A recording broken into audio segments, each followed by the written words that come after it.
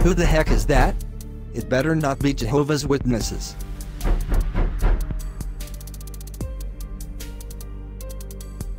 Sophia. Hi, Caleb. Come on in, Sophia.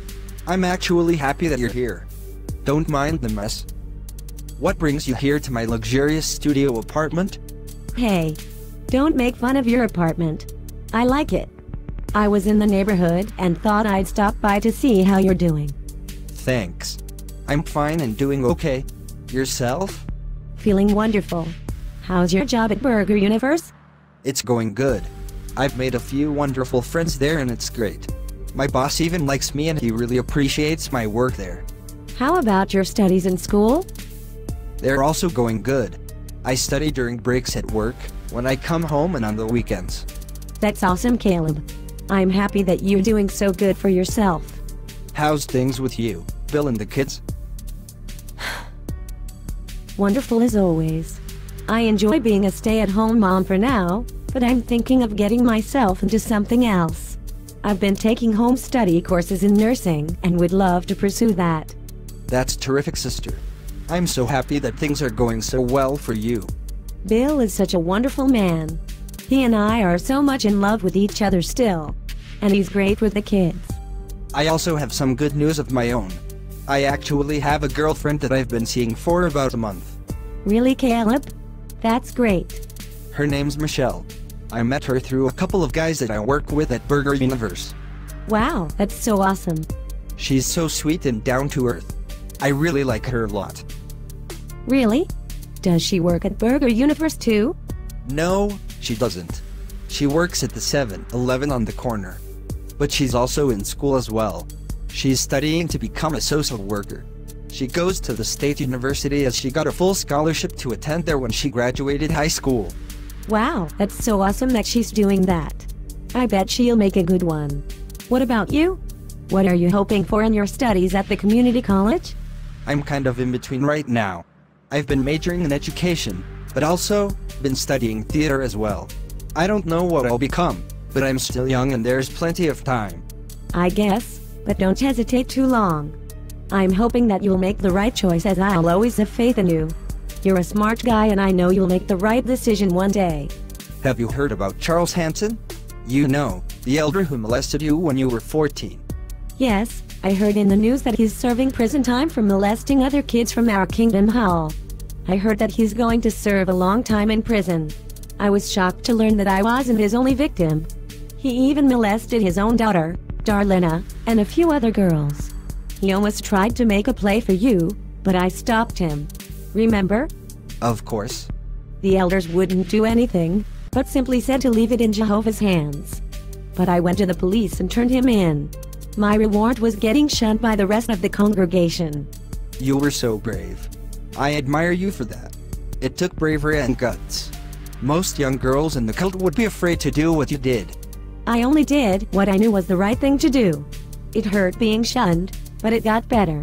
Thanks to Bill, his family, and even our non-JW grandparents. Thank God for them. It's amazing that you came this far and are feeling much better and happier about yourself, even after all of that happened. It's a process, Caleb. Healing one day at a time and enjoying life one day at a time. I'm surprised too. I never thought I'd enjoy being married after being molested and treated like I was a little plaything for that perverted elder. But Bill, he made me see how beautiful it can be. Do you still think about mom? Yes, Caleb, always. I feel so sorry for her as she's taking all of those antidepressants and has been in and out of the local mental ward several times. Though she won't talk to me, I still love her and hope that one day, she'll break free from the cult like we did. I'd even help her. I would have her move in with me and Bill. It's a shame that she has never met her grandchildren. She probably never will. What about dad? I really don't think much about him anymore. He's been a terrible alcoholic since that failed Ponzi scheme and becoming an elder. He was such a wonderful, kind and caring man before all of that. Each time he comes to my mind, tears start coming out of my eyes, but I put him out of my head and I feel better shortly afterwards.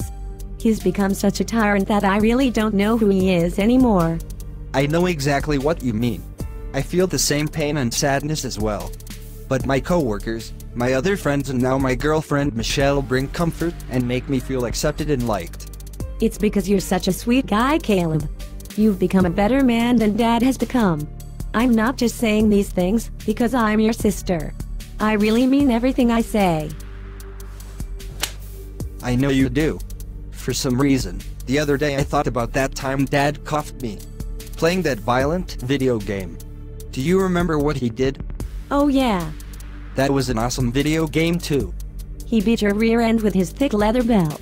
I remember you cried a lot for a long time that day. You had to lie down on your bed rather than sit because your butt hurt for a week. Yeah, I know. I also remember how he almost came at you when you turned Charles Hanson over to the police. He was really angry that you did that and almost tried to do that same thing to you. I know.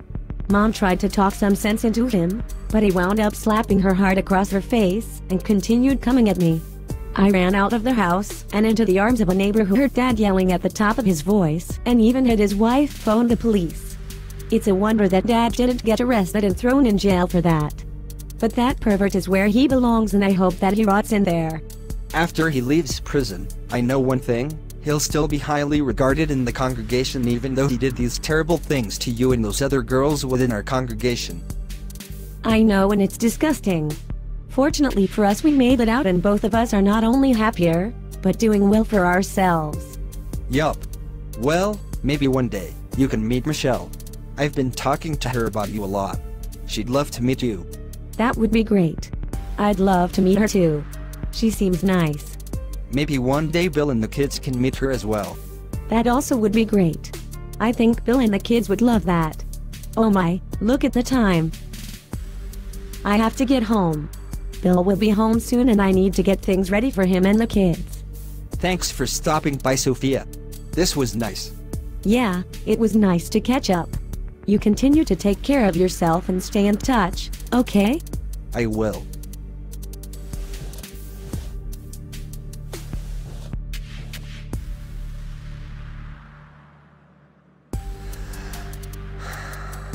What a great sister.